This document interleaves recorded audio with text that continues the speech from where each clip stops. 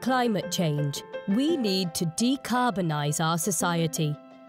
In December 2019, the European Union unveiled its plan for becoming climate neutral by 2050. To achieve this goal, the involvement of society is needed.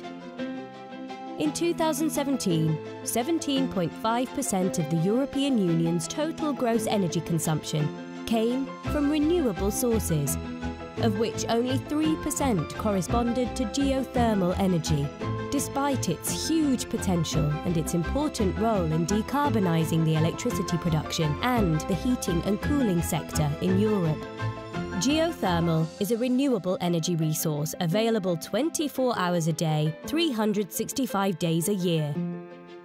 CROWDTHERMAL is planning to decrease the dependency on fossil fuels in Europe by empowering European citizens to directly participate in the development of geothermal projects with alternative financing schemes and engaging communication strategies the Horizon 2020 project will formulate new financial models for crowdfunding on a national and transnational level, covering individual member states and Europe as a whole. Geothermal energy can produce electricity, heating, cooling, and domestic hot water.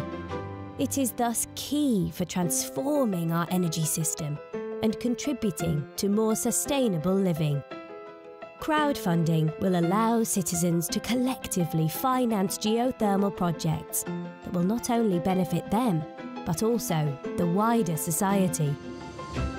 Three case studies in Hungary, Iceland, and Spain will validate the findings of the project. This decade will be geothermal. Would you like to be part of the change? Then follow us to learn more.